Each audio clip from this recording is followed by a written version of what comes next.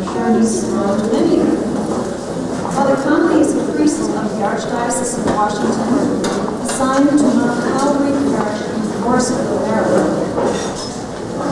He's studying for an advanced degree in church history, and this enables Father to give a very interesting portrait to us this afternoon of Patrick and we're very happy in terms of the conference program to have a, a view, and a historical view, at a very important moment in church history, of the experience of someone who was in a position of authority, as Cardinal O'Boyle was, and how difficult that was. Let's welcome Bob.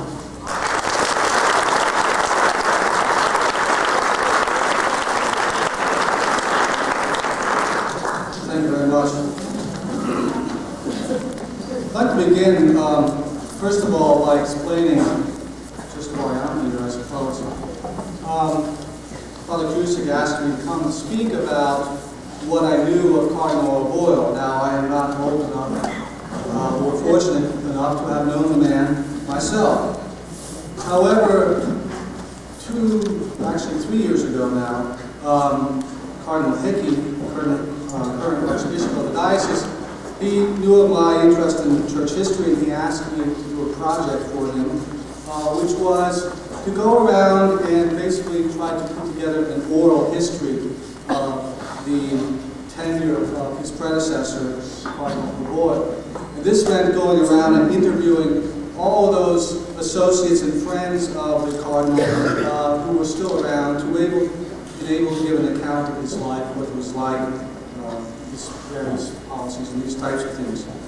In the process of doing that oral history project, I was also entitled to read all the Cardinal's papers, such as they exist in the uh, archives of the diocese. And the, papers uh, related to the what's called the Washington case uh, are, are there, uh, in addition to his handwritten notes on how he dealt with uh, the individual dissenters at that time. And so, um, basically, while this doesn't make me an expert, I guess it means I know a little something. So, hopefully I'll be able to share something with you today. Now, the sources of my remarks, um, strictly speaking, you know, a historical project needs to be documented. You need to be able to attribute statements to those who make them and quote them and that sort of thing. Well, the, the Washington case, as it's called, still remains a sensitive issue in our diocese because of the great division it caused at the time, and also because some of those priests that uh, ended up on the wrong side of Cardinal O'Boyle are still uh, active in the diocese. And so uh, his successors have been very sensitive about how this issue has been dealt with, uh, and that's one of the reasons why there has not been uh, very, uh, well, any type of substantial history written of this particular event. It also prevents me from quoting names, uh, which would be the normal uh, historical method that one would use.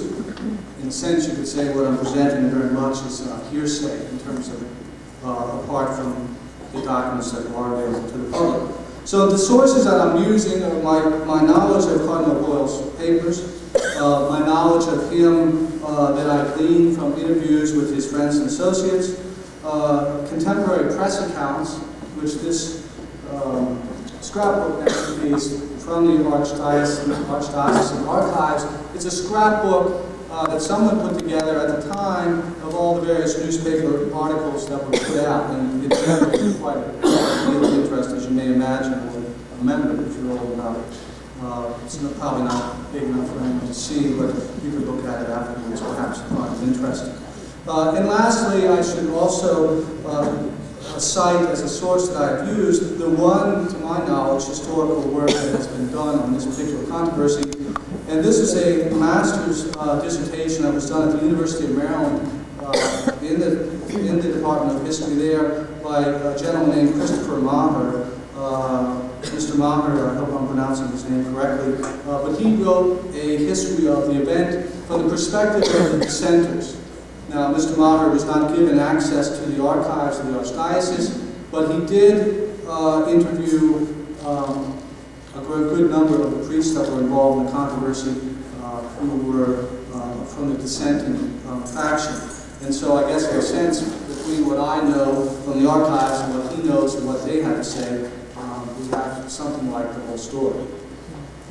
Um, to begin, just a few things about Cardinal O'Boyle himself. Now, looking at this audience, I would guess that a good number of you are old enough to remember him, uh, but then there are a good number of you who are not so uh, wise in years, and so uh, would not remember him. Um, Cardinal O'Boyle was born in Scranton, Pennsylvania in 1896 uh, of Irish immigrant parents. He was the only child. His father died at, uh, when Patrick was 10, working in the steel mills of Scranton. Uh, he was raised by his mother, who basically supported the two of them by being a housekeeper for the priests uh, at then, at what was then called St. Thomas College, is now known as the University of Scranton. Um, Patrick O'Boyle entered the seminary um, for the diocese, Archdiocese of New York, because at that time, believe it or not, they had so many priests in Scranton, they had no place for Patrick. And so he went off to New York, where he was accepted. He went to the seminary at Dunwoodie uh, and was ordained in May 1921. His first assignment was a parish called St. Columba's, which is in Manhattan on West 25th Street, the area which at the time was known as Hell's Kitchen. He held this position as an associate pastor for five years. Now this, this is important to remember because one of the things that was said often about him at the time of the controversy over Humanae Vitae is he doesn't know what it means to be a parish priest. He's never hearing confessions. He doesn't know what these people are going through. And that's, quite frankly, false. The man spent his first five years of his priesthood in a poverty-stricken area of New York City. He knew what it was like. He knew what those people were going through. And he also knew what it meant to be faithful. So uh, that is, it's, it's important to remember um, his experience as an associate pastor.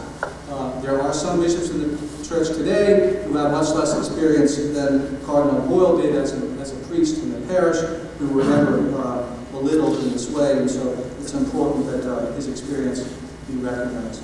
Uh, after five years as associate pastor, um, he was recruited to be involved in charity drive work by the then uh, uh, Cardinal Hayes. Was so successful at it, um, he was held on in that position. He also studied at Fordham University for a few years in the 1930s in social work. Uh, in 1936, he became the director of a basically a, a, children's home, not strictly speaking an orphanage, but a children's home in Staten Island, uh, which housed 1,100 people, uh, children. He was the director there for five years. Then in 1941 became the assistant director Catholic Charities for the Archdiocese of New York, which, as you might imagine, even then was a pretty big operation. In 1943, he was made director of War Relief Services for the National Catholic Welfare Conference, uh, which still exists today under the title of, um, um, I can never have the NCCB and the US, those people down there. Um, in 1945, after the conclusion of the war, he was made director of Catholic Charities in New York. Uh, finally, in 19, November 1947, he was named the first resident Archbishop of Washington. It's the first occasion, I'm not sure if it's happened since then, of a priest being elevated from, from being a, a priest to being an archbishop without first being an archbishop, uh, excuse me, without first being a bishop. And so his talents, his abilities were recognized. In the spring of 1948, shortly after his arrival in uh, Washington, he began initiating the process of integrating the Catholic schools in the District of Columbia, which at that time uh, were segregated. Uh, this was one of the things that he's most remembered for, his courage in dealing with race relations within the Catholic Church and in within the wider community. Um, that process continued throughout the late 40s and early 50s, and keep in mind this is before, uh, five years before the 1954 Supreme Court decision uh, declaring that school segregation was unconstitutional. So uh, he was one of the forerunners in integration uh, and was always respected for that.